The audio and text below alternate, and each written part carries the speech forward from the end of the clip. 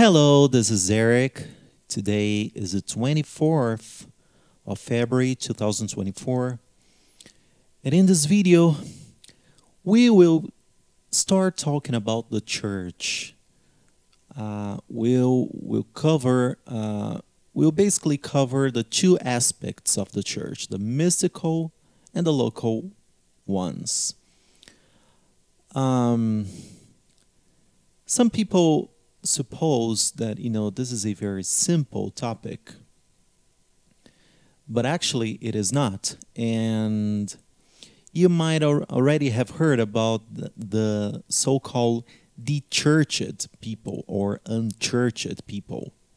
These are people that uh, believe that they have no need you know to attend or to be part of a local church or to be somehow uh, linked to um, a local denomination. They think that they, uh, by themselves, are the church. So, this study uh, is really relevant in the sense of um, explaining uh, this phenomenon and pointing us to the right direction regarding the understanding of what the church is and what and of what God expects from us as Christians. Okay, so this uh, this word church in English uh, it derives from the original term ecclesia in Greek, right? And this term, ecclesia, has nothing to do with the gospel. Jesus used this word uh, to refer to what we know today as the church because it was a very common and simple uh, term for the people of his time during his local uh, during during his local ministry on earth right so this is the ecclesia. You know, this concept uh, was created by the Greek, and around Greece, it worked in different ways. I mean, there were different requirements for a person to become a citizen, right, in each Greek polis. Um, but in general, pretty much uh, being a citizen and thus being allowed to participate in an ecclesia um, would depend on having uh, possessions, land, and being uh, a son. In, in many occasions, you had to be a son of originally Greek uh, parents right? And there were many other requirements. But provided that you were recognized as a citizen in your local polis, you would be allowed to uh, participate in the polis uh, policies, right? So you would be able and you would be allowed to establish laws to discuss the laws and to discuss on everything related to the political scenario of these polis, right? Uh, so it was this concept that Jesus took uh, by loan to establish what we know now as Jesus Church, Jesus Ecclesia, right? So the, the, the, the root of the Greek word is formed by ek or ex, out of, and kaleo, right? To call with a loud voice, to be called, right? So, um, this is the Greek expression, right? Uh, that was used to refer to any kind of assembly, specifically this one that I mentioned, that I showed you in the picture. Now, Jesus used this term to refer in a particular way to all those who have been called out of the world to belong to him. What do you mean by world, Erick? Uh, by world, I am not mentioning uh, the physical world, right? Jesus never called anyone uh, to to be apart from society, apart from all the other men, isolated, right? No, um, we are called by Jesus to be salt and light in the world. So it is necessary for us to to be active among men, right? But we are called out of this spiritual conscience, this spiritual collective conscience that goes against God, right? This is what we are called to uh, by by God, and I think I forgot to to open the Bible here, but yes, we're gonna check out, you know, some portions of the scripture here. So let's check out Matthew 16, 18. Matthew 16, 18.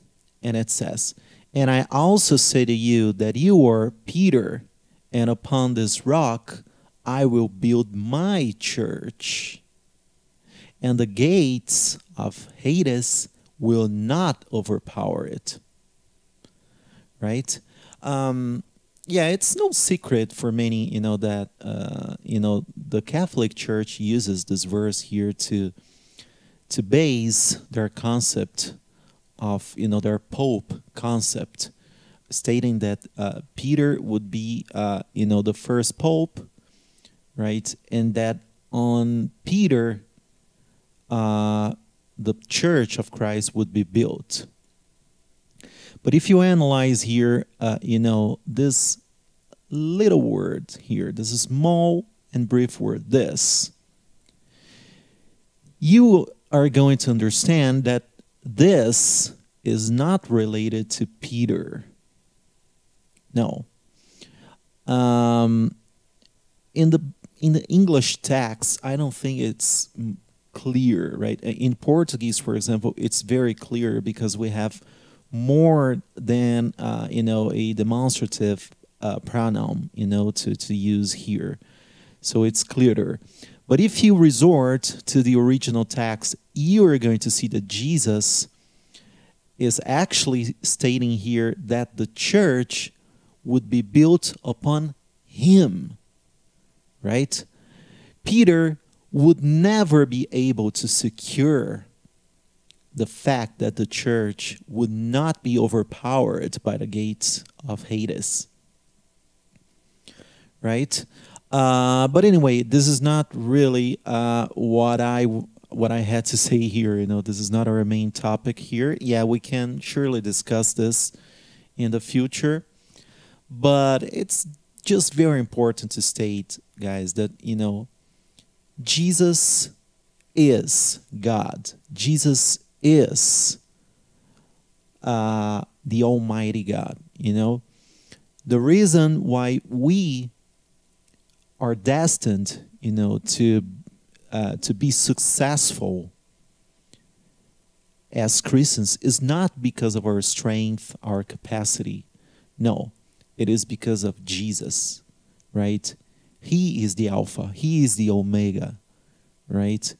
He is the path, the truth, not Peter, not you, not me, nor anybody else right? But anyway, let's go back to our topic here. So uh, again, we're going to read Romans 1, verses 5 to 6, and see what the Apostle Paul has to say in this sense as well. Romans 1, 5, and 6.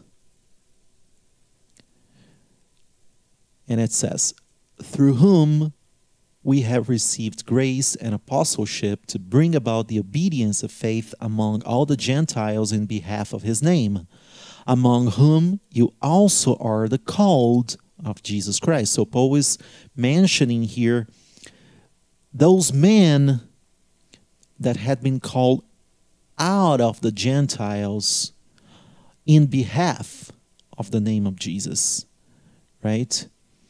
Uh, to to exert obedience of faith to Jesus, right? So here we have the calling concept again, right? And uh, we have this mystical aspect of the church, right? Um, so, what do you mean, Erick, by mystical? It sounds like uh, occultism. No. Uh, mystical here is spiritual, and it's not uh, stuck in time, it's not limited to time. What I'm trying to tell you is that the church of Christ, the ecclesia of Christ, encompasses all men and women call it out of the world along the history of mankind in this dispensation of the church right? So all these men they will they will belong to denominations to assorted to several denominations to several local churches but they will comprise a living organism right in Christ and they will be gathered because they have been called by God to be part of His supreme purpose, regardless of the time and space in which they are. Right? Uh, so let's check out Ephesians 1, verses 22 and 23. Ephesians 1, verses 22 and 23. And he put all things in subjection under his feet and made him head over all things to the church, which is his body, the fullness of him who fills all in all. All in all. All in all encompasses the entire humanity in all its periods in time. Right? Well, um, now it is very interesting that the same Apostle Paul is going to mention uh, the metaphor of the body, right? So we we are now going to be uh, covering here. We're going to be addressing the concepts, you know, the names which refer to the ecclesia, right? Uh, along the New Testament. So we have body of Christ, the bride of Christ, right? And we have the new man.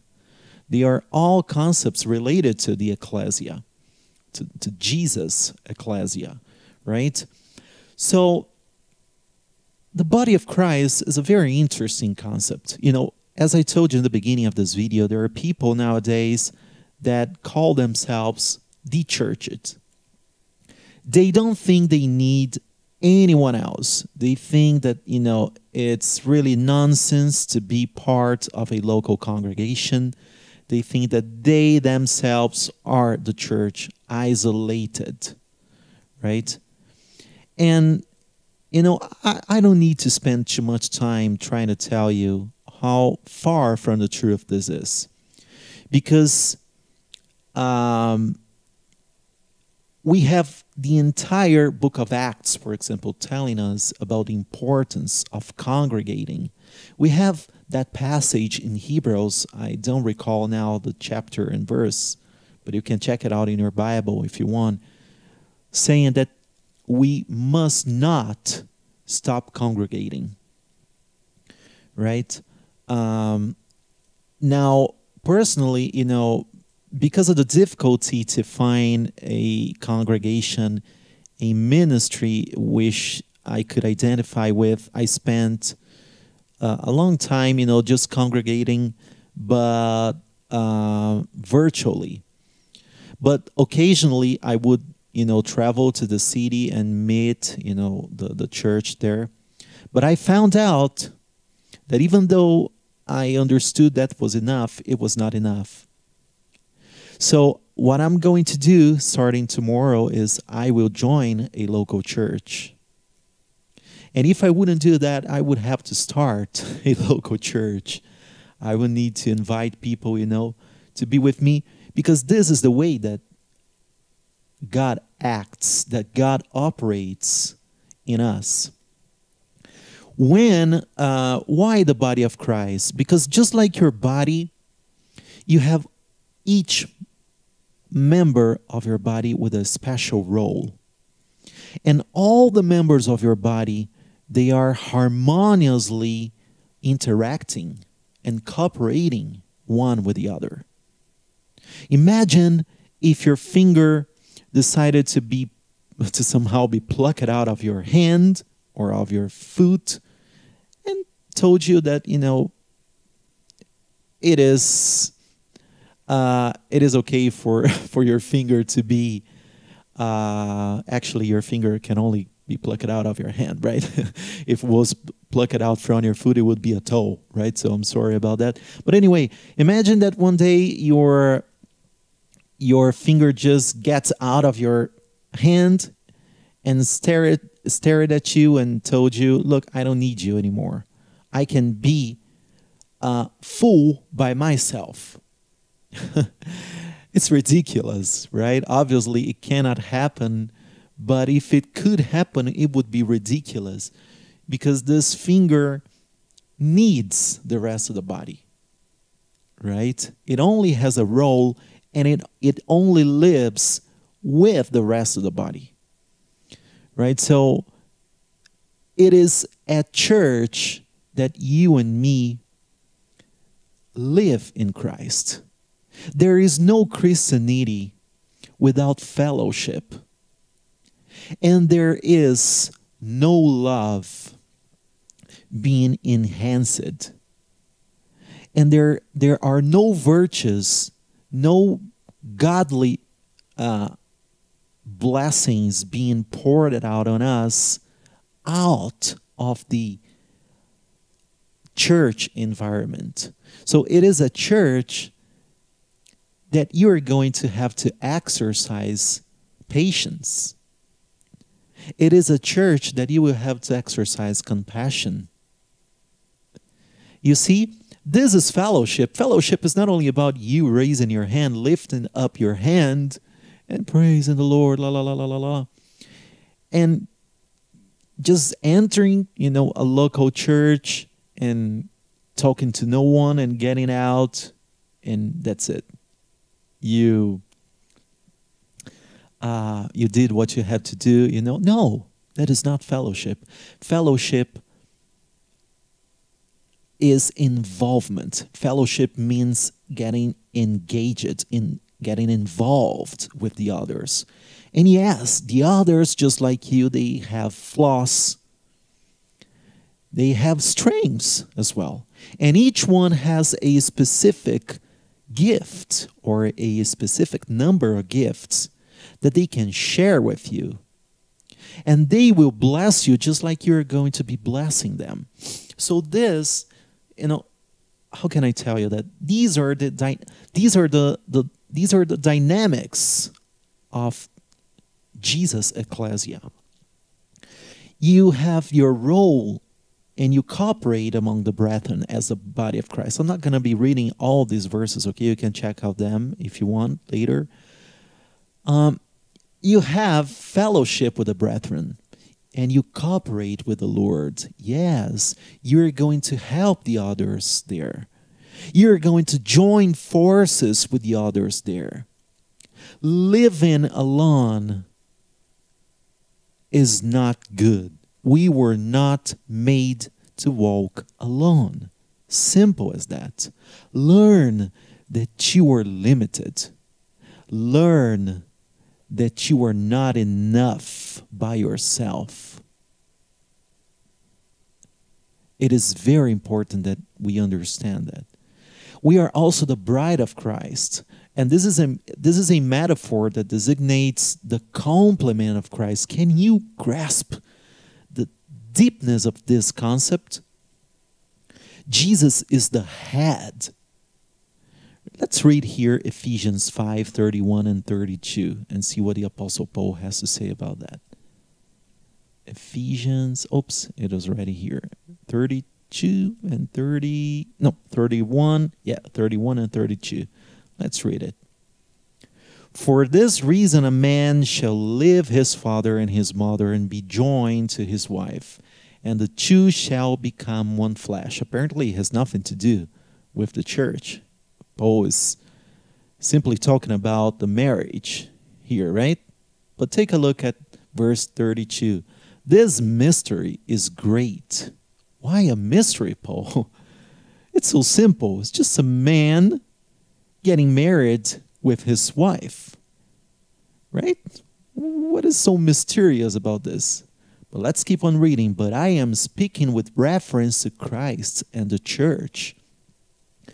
So we have Songs of Solomon, or the Song of Solomon, and many other references in the New Testament speaking about the fact that the marriage, I mean, a husband and a wife, although they are a couple, they spiritually point to the spiritual reality of Christ and the church.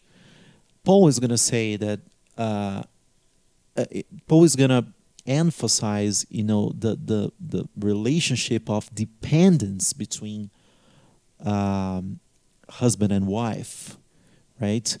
And this, uh, you know, pretty much points to the fact that Jesus is the head. So the head means like the mind, right? The, the power, the intelligence, and the church is his body that complements him. Because if you don't have a body, you move nowhere, right?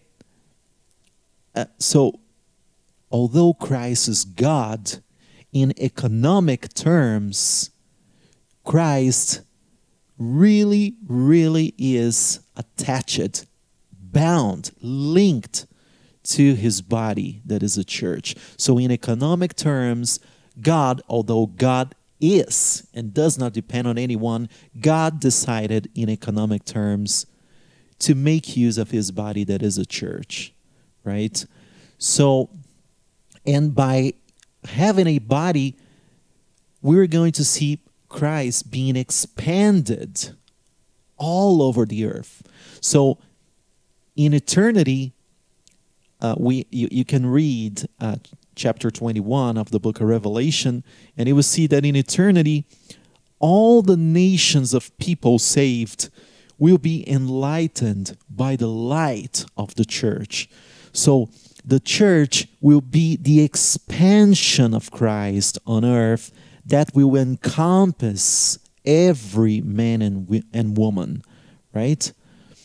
Uh, so this body of Christ, this bride of Christ will be the helper of Christ and the pleasure and the light of Christ. So we read about this in Revelation 21 verse 2. Let's check it out, you know, just to see what it says here.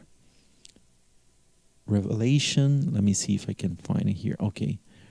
21 verse 2 and it says and I saw the holy city, New Jerusalem, coming down out of heaven from God, prepared as a bride adorned for her husband. So, Jesus is the husband, and he expects, like a, a bridegroom, you know, to have the bride with him. How beautiful that is. And you might be wondering, yeah, but I didn't read about about a bride. Uh, well, it's pretty clear here, right? Prepared as a bride. Yeah, Erick, but it's still, I just read about a holy city. Yes, but if you check out here later on, because you know this is a dialogue. Uh, actually, let me correct what I was about to say. This is a vision that that John is having right? But later on, after all this description, uh, you know, uh, and not only sorry, not not after the description, because the description of the New Jerusalem will start uh, as of verse ten onward, right? But from verse one to verse eight, we have here this brief description of the holy city that is compared to a bride, right?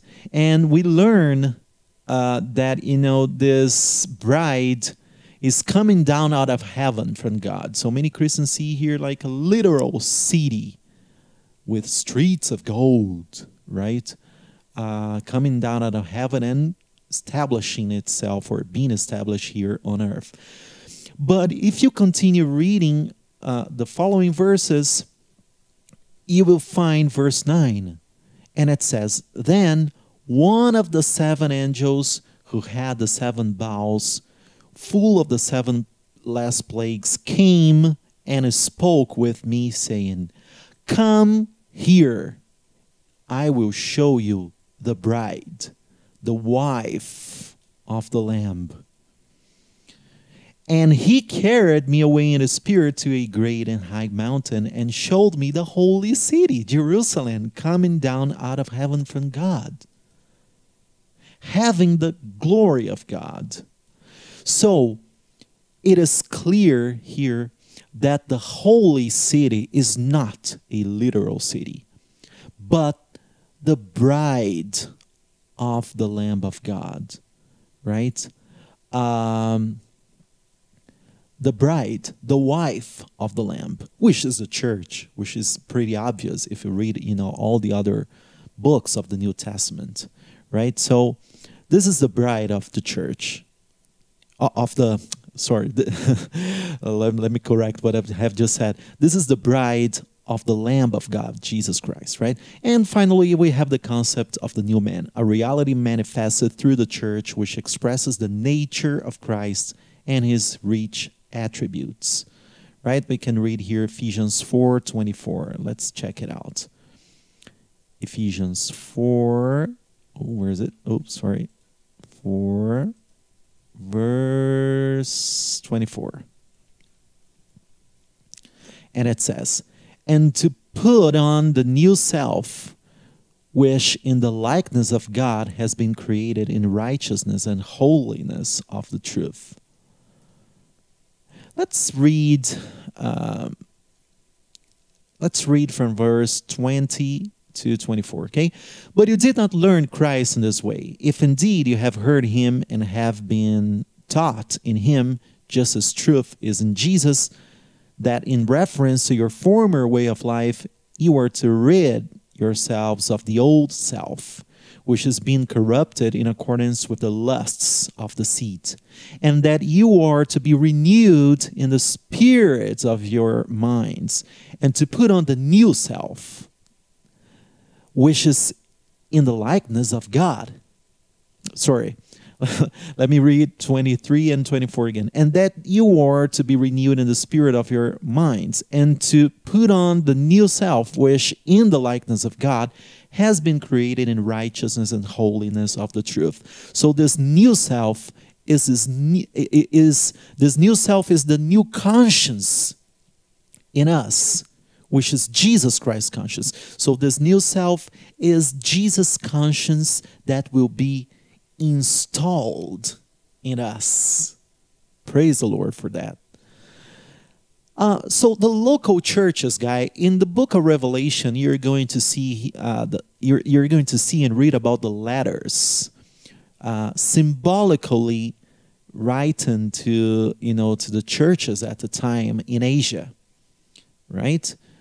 Ephesus uh, and so on, Smyrna and so on. So these local churches, you know, there in the book of Revelation, they point to uh, historical uh, times of the church during this dispensation of the church. Okay, but somehow you know they point to the fact that there are local churches. So the local churches they are a historical New Testament pragmatic fact manifested throughout the world where the gospel of Jesus Christ has reached. It. So we're going to read, guys, about you know the churches in the New Testament, right? I don't have to read all these passages here. You can pause the video if you want and check one by one. But you know the fact is that local churches, um, you know, they arose accidentally. It is a sad fact that here in Brazil, and maybe in the country where you live, you have churches that unfortunately preach a gospel that has nothing to do with the apostles' gospel.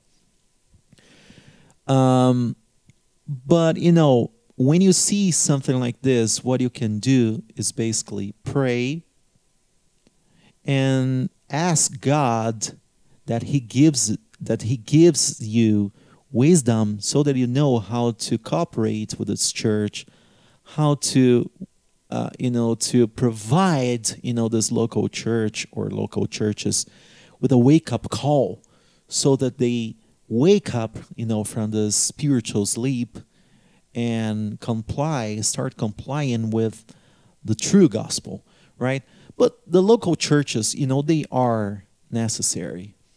It is through these local churches that we have a expression an expression sorry you know it is through these local churches that we have an expression and a practical expression of this mystical and universal church through which as i told you in the beginning of the video we can learn and help uh, be blessed and cooperate with the others thus growing up spiritually with all the other members of the body of christ so these local churches are necessary, right? Uh, it is in the local churches that we develop our spiritual gifts properly, right? And and it, and, and also in these local churches we can exercise mutual care. How are you going to help people if you're not in contact with them, if you don't know about the reality of their lives, of the tribulations they're undergoing. So don't tell me that you can just stay at home praying, you know, about people that you never see, that you don't know uh, in what kind of tribulation they're experiencing. It's impossible. Right? So it is only a church that we exercise love, forgiveness, and that we are mutually edified and have our spiritual gifts developed. Right? So basically, this is what I had to tell you in a very summarized manner. I hope you have enjoyed this video. And in our next video, we will continue talking about the church. Thank you so much, and God bless your life.